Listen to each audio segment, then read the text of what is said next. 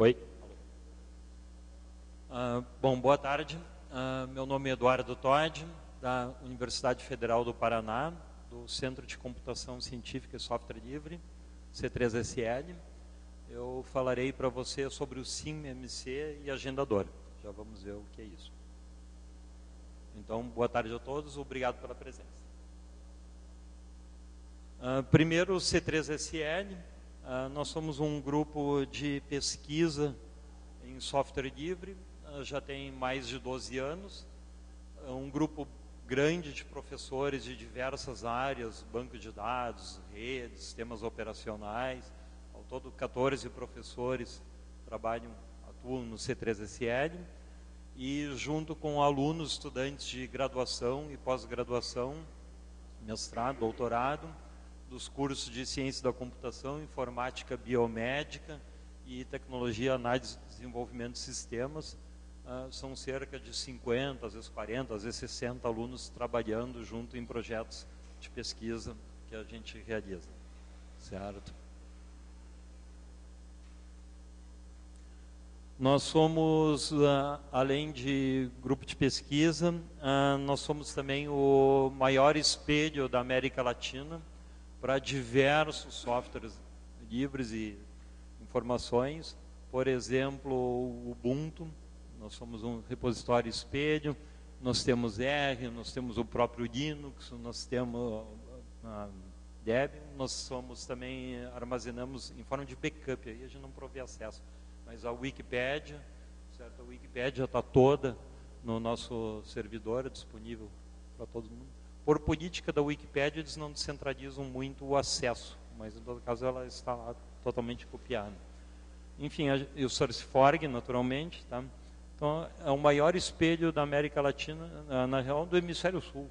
Tá, é, tá aí Hemisfério Sul, tá certo. De todo o Hemisfério Sul é o maior espelho de software livre. Bom, uh, o SIM-MC é um sistema de monitoramento, certo? Então, o que acontece? O governo federal investe em algumas ações de inclusão digital através do Ministério de Ciência e Tecnologia, uh, que são, no caso aqui, telecentros, GESAC e cidades digitais. O telecentro, acho que todos conhecem o conceito, né? então são montados laboratórios para as pessoas terem acesso. O GESAC, ele provê uh, serviços como, principalmente internet, a regiões distantes, onde não teria internet se não fosse o GESAC, então tem convênios com o Embratel, com o uso de satélites. O governo investe pesado nisso para oferecer internet para regiões remotas, acreditando que uh, esse grande gap que a gente tem na quantidade de informação, se a gente suprir isso, a gente ajuda o país e as pessoas a se desenvolverem, certo? E depois tem os projetos de cidades digitais, então acontece em várias frentes, várias cidades são participantes do projeto de cidades digitais, onde a gente busca prover serviços para saúde, serviços para segurança, para gestão da cidade.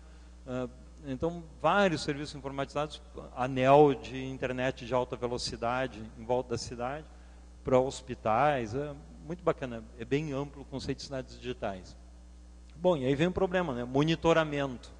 Tá? Monitorar o quê? O governo tem que ter certeza que as coisas estão lá, que estão lá e que estão funcionando. Porque, senão só paga, e como é que vai saber se está sendo implementado ou não? Né? É, então, por exemplo, a gente controla uh, ah, 7.765 pontos, estão aqui mostrados nos mapas, com mais de 2.300 municípios, certo? Uh, esses são os pontos que a gente está monitorando, dessas três unidades. Tá? Já vou falar o que, que a gente faz lá. Uh, em cada um desses pontos, então, a gente tem um módulo de coleta de dados, certo? Que é um agente, então, que é executado nas máquinas, mas também, uh, através do SMTP, a gente coleta dados dos roteadores para analisar tráfego, como é que está sendo fornecida a internet nesses lugares. Então a gente faz a coleta dos dados, armazena e podemos visualizar. A gente vai ver melhor isso aqui. Tá? Por exemplo, a gente pode fazer inventário das máquinas. Com o inventário das máquinas, a gente fica sabendo se a máquina está lá, já é uma coisa importante, né? ainda mais um país que enfrenta vários problemas de corrupção, né? uh, se a máquina está lá. E também são gerados alertas se a, houve alguma alteração na máquina. Então, se alguém abrir uma máquina e trocar um pente de memória, uh, trocar qualquer peça da máquina, isso aí vai aparecer, vai ser detectado. Certo? Também, através disso, o Ministério pode gerenciar o parque instalado e descobrir, poxa, computadores naquela região estão obsoletos, então tem que investir mais naquela região, uh, planejar a atualização do parque instalado. Bom, uh, outra parte importante é o uso da rede, não é? Então, através do controle e monitoramento do uso da rede, a gente pode saber onde é necessário expandir, onde nem está sendo usado.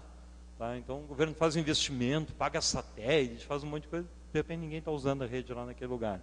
Ou então paga, querem usar, só que a banda oferecida está bastante inferior à contratada. Também é uma situação que tem que ser controlada.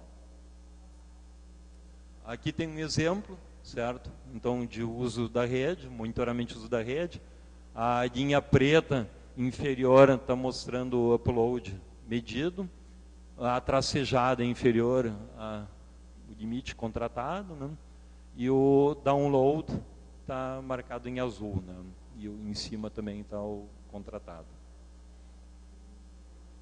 Uh, existem casos onde a gente monitora e descobre que a rede quase não está sendo usada, certo? Tem os limites contratados, mas a demanda é nada, ninguém está usando, certo?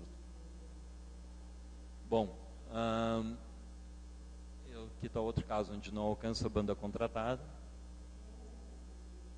Uh, e o inventário, eu já falei, então a gente pode, por exemplo, favorecer, a, a gente pode, quando se manda computadores, quando se manda equipamento para um lugar, a gente pode ver se eles realmente foram implementados, a gente pode favorecer onde está precisando de mais banda, certo? Então toda a logística de gerenciamento então, basicamente, o que a gente consegue é a melhor gestão e uso dos recursos públicos, certo? E eficiência, projetos e transparência, dados abertos. Eu vou mostrar de novo daqui um pouquinho com mais detalhes, certo? Detalhes de implementação. Essa parte é implementada em JavaScript, certo? Se julgou a gente às vezes toma umas decisões de um projeto sempre são muito bem estudadas, muito discutidas, às vezes a gente muda de um projeto para outro, mas uh, esse aqui foi feito todo em JavaScript, por ser simples, é uma coisa só para todos aprenderem. Tá? Front-end em Angular e Lazy Bootstrap, certo? Uma versão um pouquinho mais bacana para a gente fazer a interface. O back-end é com Node, tá? e Express.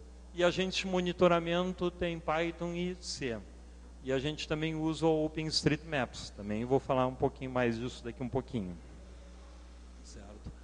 A arquitetura do SIM-MC, a gente interage com telecentros, então, com GESAC, que é esse provimento de internet e serviços a locais remotos, né, geralmente via satélite, em Bratel, e cidades digitais. Certo? Então, para cada um tem uma, um sistema de coleta diferente, tá? com web, com E com R-Sync. Tá? Todos comunicam com o sistema de armazenamento no C3SL e que depois a gente provê uma interface de visualização do que está acontecendo. Certo? Então, aqui está um pouco mais aberto, né? no meio está o banco de dados que a gente tem, certo?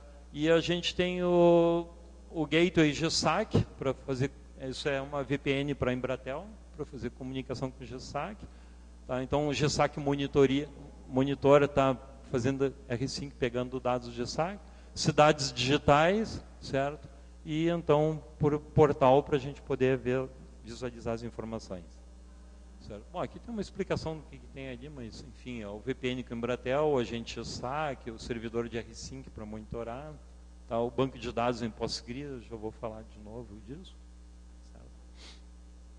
Bom, Uh, essa parte aqui acho que não é tão importante, mas enfim, as máquinas lá eram Shell com 3 GHz, 16 GB de RAM para o banco de dados, tá, e monitoramento, demais máquinas. acho que aqui já entrou em muito detalhe. Tá. O agente GSAC, então, uh, tem o gateway uh, conectado com o Embratel, tem um túnel entre o nosso servidor e o roteador da Embratel, certo? Com isso que a gente ganha acesso à rede GSAC.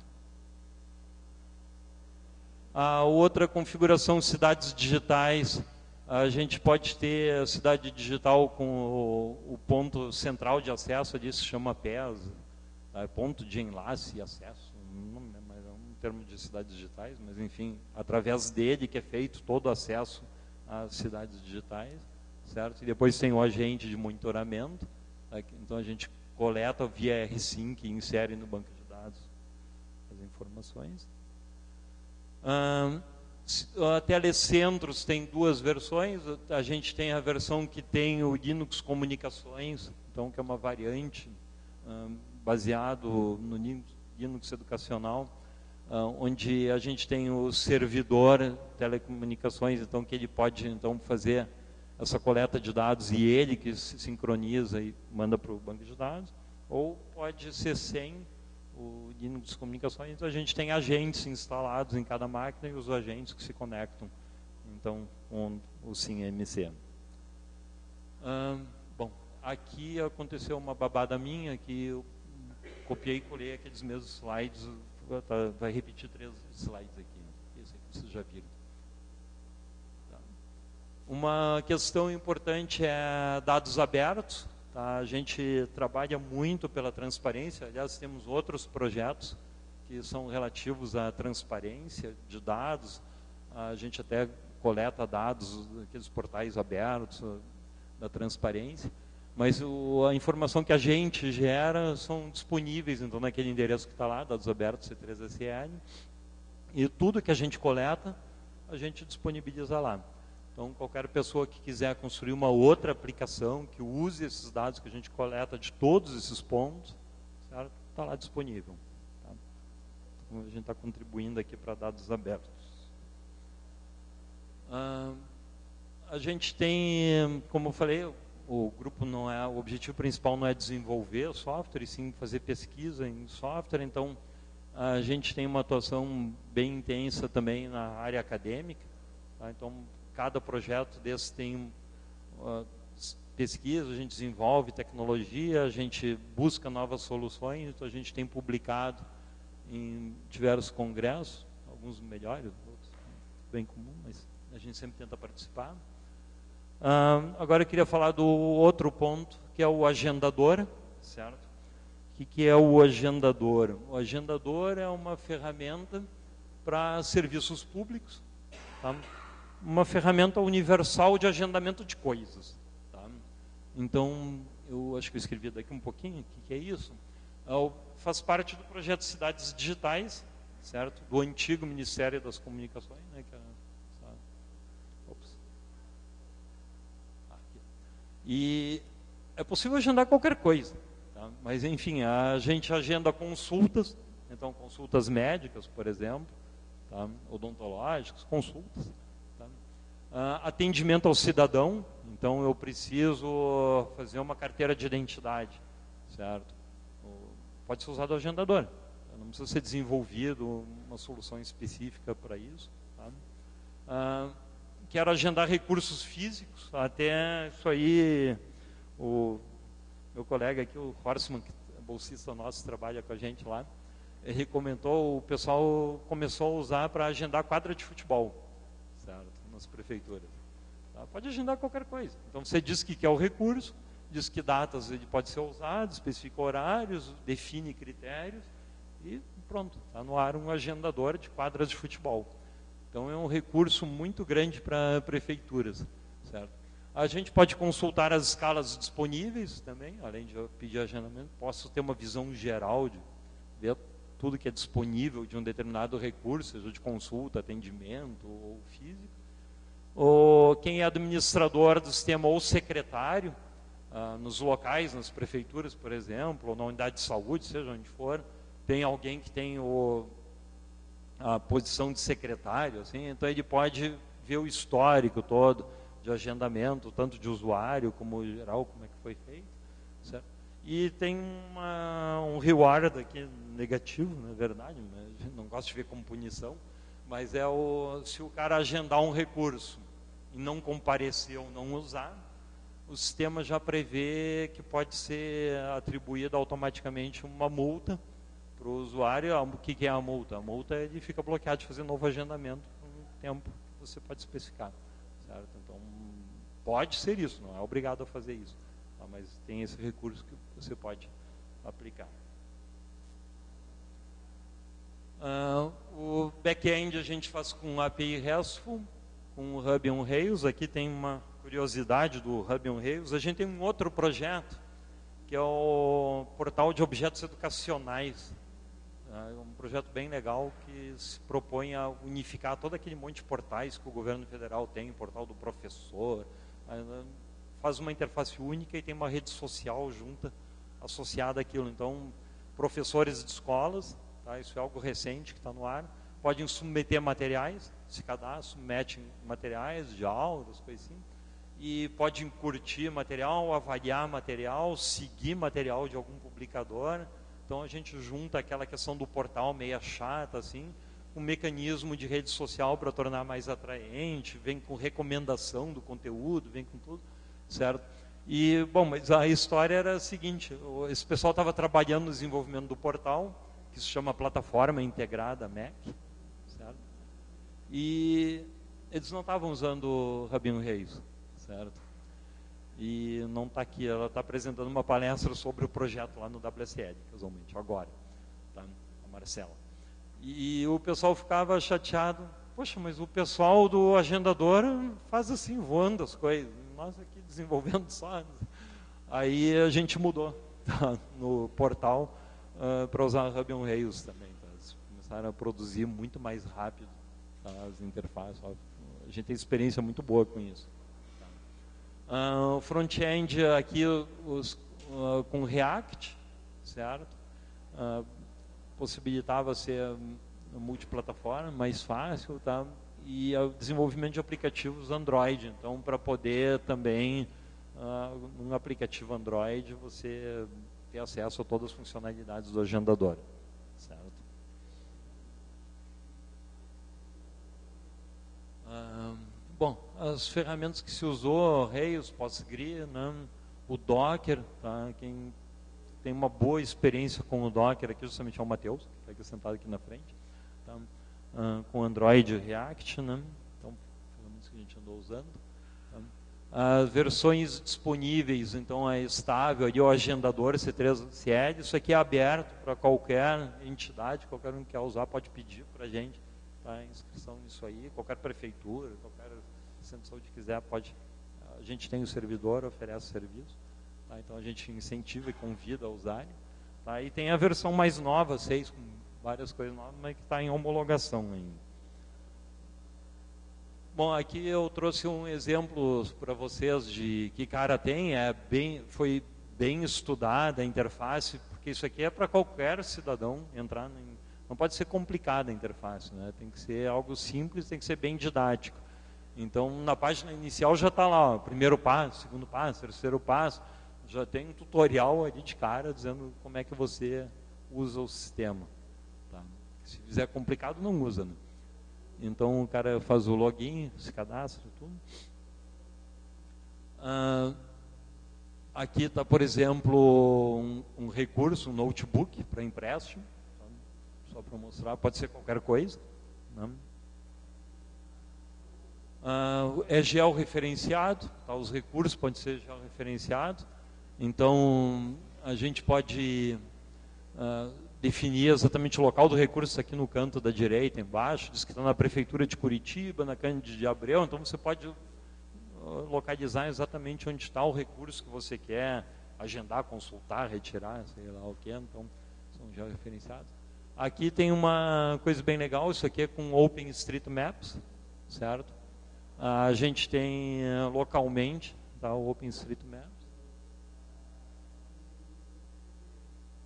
Uh, algumas contribuições, na verdade tem muito mais, mas aqui a gente se lembrou de colocar uh, a primeira ali no GitHub, a parte do CEPs, né? Como é que fa...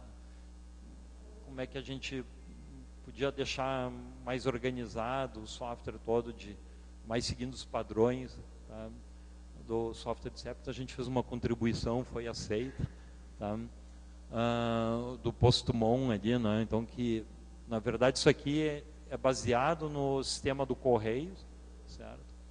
Uh, que você então quer saber o CEP de alguma rua ou o contrário também, mas e só que o sistema do correio nem sempre está no ar.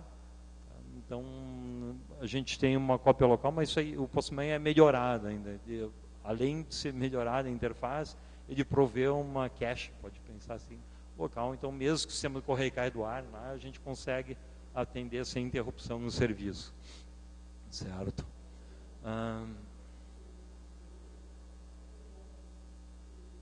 Tem um fórum de discussão do agendador, bem bacana, bem ativo, porque pensa, isso aqui a gente faz para alguma prefeitura, alguma instituição adotar o agendador, certo?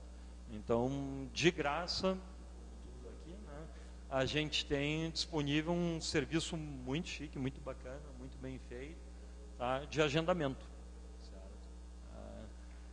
Só que às vezes o cara começa a usar e começa a surgir um monte de dúvidas, né? Então tem um fórum aqui de discussão. Se o cara quer instalar localmente, fazer o dele também, obviamente pode, né? Tudo que a gente faz software livre, tá? Então tem um fórum bem ativo aqui. Aliás, quem, vale a pena vocês conhecerem os fóruns do C3SL, tá? Tem fóruns muito bacanas em várias áreas, certo?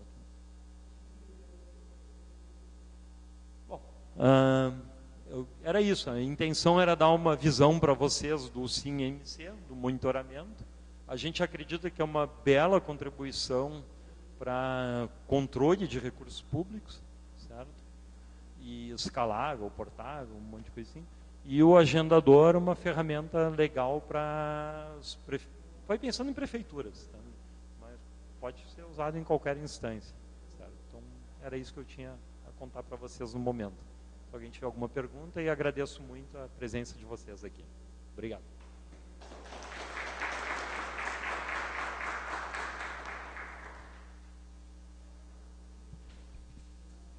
Oi. Eu vou de passar o microfone para sair no som. Alô?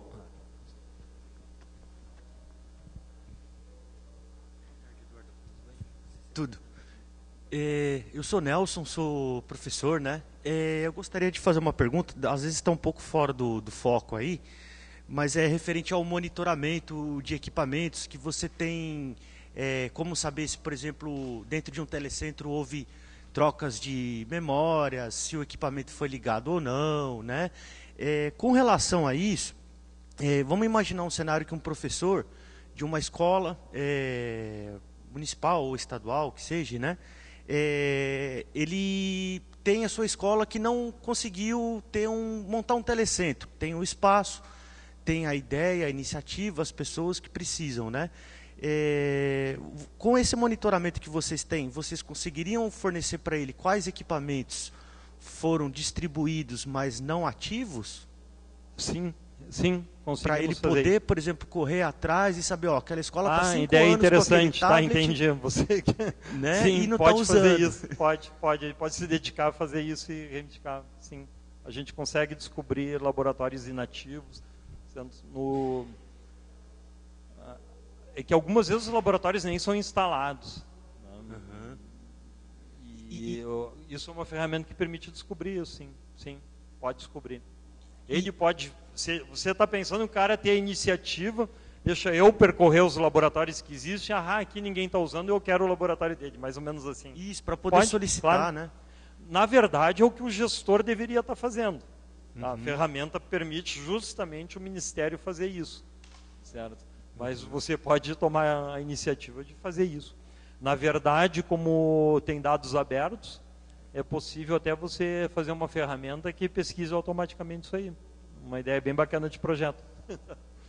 e, e vou... Não pode falar.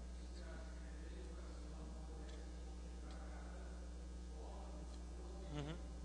Sim. É. Isso. Tem. Tem, é isso, é isso. dentro do esquema desses projetos de telecentro e gestaque cidades digitais. Né? Mas a gente já teve, uh, no momento ficou inativo isso, mas vai voltar a ser ativo. É todo um outro ramo de máquinas, é, o Linux educacional provê esse serviço também, aí sim pega todas as escolas mesmo. Tá? Então, o Linux educacional participar de um esquema como esse. A gente já teve o ProInfodata, tinha sido descontinuado aí nessas transições de governo, aí, mas a gente quer ativar de novo isso aí. Então, essa, toda essa coisa que a gente contou, a gente quer colocar no Linux educacional de novo. E aí pode localizar a escola inativa. Ou então descobre que o venderam para uma empresa lá os computadores. Também pode acontecer. E, e, tem mais ou menos aí, aí, você passou alguns links aí, é, tem mais, algum, mais ou menos um site onde o professor pode pegar o caminho das pedras aí para poder ter uma comunicação com, com esse monitoramento? Bom, o, tem o, o Matheus aí está querendo falar algo, já deixa ele falar. Tem o link da ferramenta de monitoramento. Tá? Se você procurar no Google SimMC C3SL, você vai estar com a ferramenta funcionando, ela é pública, é aberta para qualquer um. Tá? Então, de cara, você já pode acessar os dados. Tá? E também está convidado a participar no fórum ali, colocar alguma pergunta. Pô, gostaria de ter mais coisas, como é que eu leio isso? Eu não entendi alguma coisa. Está convidado, sim. Tranquilo. Não sei se o Matheus queria complementar. Não, era isso aí mesmo. Tá? Bom, era isso. Então, mais uma vez, muito obrigado. Tá? Eu conto com a colaboração de vocês na divulgação disso aqui e uso, né? porque a gente faz o que é que todo mundo use. Tá? Muito obrigado.